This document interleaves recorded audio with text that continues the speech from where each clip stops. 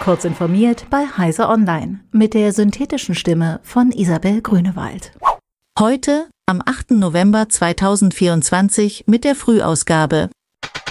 Das Bundesverfassungsgericht hat entschieden, dass die Befugnisse des Bundesnachrichtendienstes weiter eingeschränkt werden müssen. Dies betrifft insbesondere die verdachtsunabhängige Massenüberwachung durch den BND, Insbesondere im Bereich der Cybergefahren ist der Einsatz des sogenannten Datenstaubsaugers nicht mit dem Fernmeldegeheimnis vereinbar.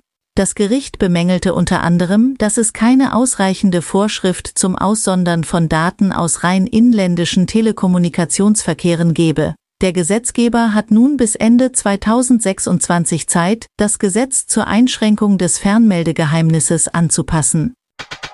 Der Chip-Hersteller Qualcomm hat im dritten Quartal diesen Jahres einen Umsatz von mehr als 10 Milliarden US-Dollar erzielt. Es ist das erste Mal seit 2022, dass das Unternehmen diese Marke knackt. Der Großteil des Umsatzes stammt aus dem Verkauf von Snapdragon-Prozessoren für Android-Smartphones, Apple-Produkte sowie Funktechnik. Nach Bekanntgabe der Geschäftszahlen stieg die Aktie von Qualcomm um fast 9 Prozent.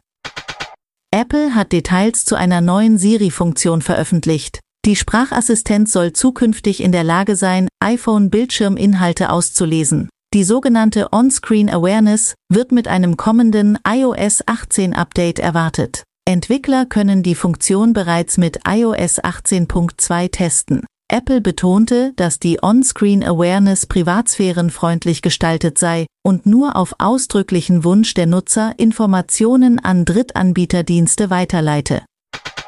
Die australische Regierung plant ein striktes Verbot der Nutzung sozialer Medien für Kinder und Jugendliche unter 16 Jahren. Das Verbot soll Ende nächsten Jahres in Kraft treten und ohne Ausnahmen gelten. Betroffen sind voraussichtlich Plattformen wie Facebook, Instagram, TikTok und YouTube. Die Plattformen sollen dabei selbst für die Durchsetzung des Verbots verantwortlich sein.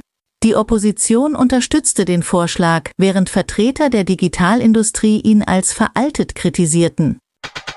Wenn die Bundesregierung bis 2030 Glasfaser für alle erreichen will, müsste sie jährlich vier Millionen Haushalte mit Glasfaser erschließen. Das geht aus einer Studie des Breitbandverbands ANGA hervor, der dabei mindestens vier Jahre Verspätung prognostiziert. Die Forscher weisen zusätzlich darauf hin, dass die noch zu erschließenden Haushalte überwiegend im halbstädtischen oder ländlichen Raum liegen, wo eine Erschließung aufwendiger sei. Diese und weitere aktuelle Nachrichten finden Sie ausführlich auf heise.de. Werbung wir machen eine kleine Mini-Pause, aber hören uns natürlich gleich wieder.